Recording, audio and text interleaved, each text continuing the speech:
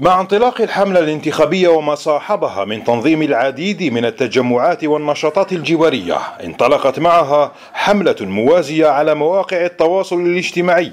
أين أصبحت وسيلة محورية للمترشحين لاستقطاب أكبر عدد من الناخبين بالنظر للانتشار الواسع لهذه المواقع. نجد أن الآن في الأيام هذه في الحملة الانتخابية نجد هناك منشورات كثيرة وكثيرة جدا آه، بنطاق واسع موجودة آه، في الفضاء الأزرق الجزائري المتمثلة في آه، صفحات المترشحين واستعملت يعني بطريقة تقنية عالية وبجودة يعني ممتازة في إرسال وفي توضيح رغبات المترشحين عن طريق الصور وعن طريق الفيديوهات وعن طريق الكتابات التي تصل بسرعة فائقة إلى المواطن ويتفاعل معها بكثرة. المزايا الكثيرة التي يتميز بها الفضاء الإلكتروني على غرار الآنية في نشر مختلف نشاطات المترشحين إضافة إلى إمكانية طرحها بأشكال مختلفة لشرائح واسعة من المجتمع في نفس الوقت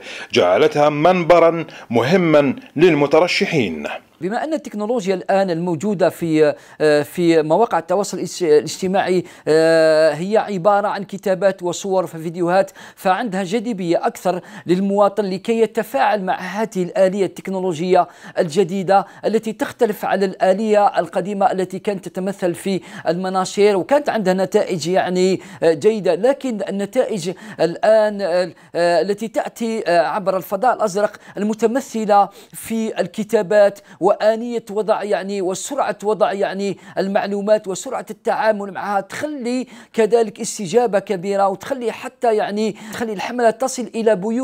يعني جميع الجزائريين عن طريق الهتف النقال والحملة الانتخابية آه، آه، الرقمية الموجودة الآن في الفضاء الأزرق التي هي تكلف آه، يعني أقل جهدا وأقل جهد جسدي وكذلك وأقل تكلفة مالية في استعمال هذه الحملة الانتخابية عن طريق مواقع التواصل الاجتماعي. لا تكاد التجمعات والخرجات الميدانية تنفصل عن العمل الموازي عبر الوسائط الاجتماعية وفي كل هذا يبقى محتوى البرامج التي ينبغي أن تتماشى مع تطلعات المواطن على اعتبارها أهم عامل في إقناع الناخبين.